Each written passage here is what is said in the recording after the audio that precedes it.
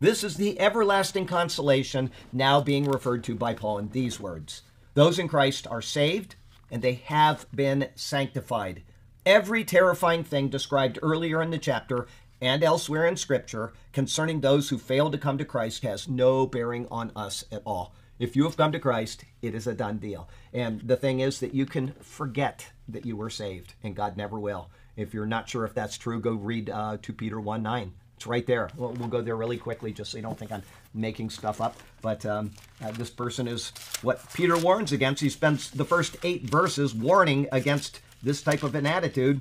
But he gets down to verse 9 and he says, For he who lacks these things, do this, do this, do this, and you'll be uh, secure in your faith. For he who lacks these things is short sighted, even to blindness, and has forgotten that he was cleansed from his old sins. He completely walked away from the faith. He's completely forgotten that he was ever saved in the first place, and yet God has not.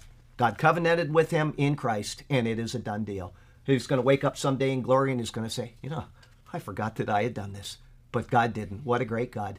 Okay? That's it's so wonderful to think on what God has done for us because we, you know, we get beside ourselves with anger. We get beside ourselves with, you know, mourning and loss or whatever our emotional state is at the time. Or we just, you know, get busy with life and we just start you know, walking away from church, and eventually we're just doing our own thing and we've just completely forgotten.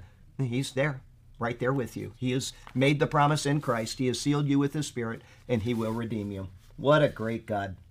What a great God.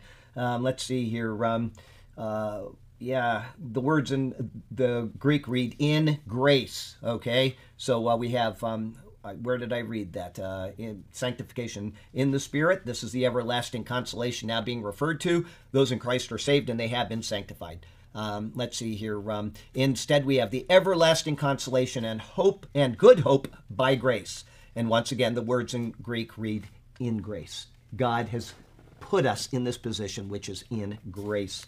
This denotes the mode of everlasting consolation and good hope which we have been given. Great.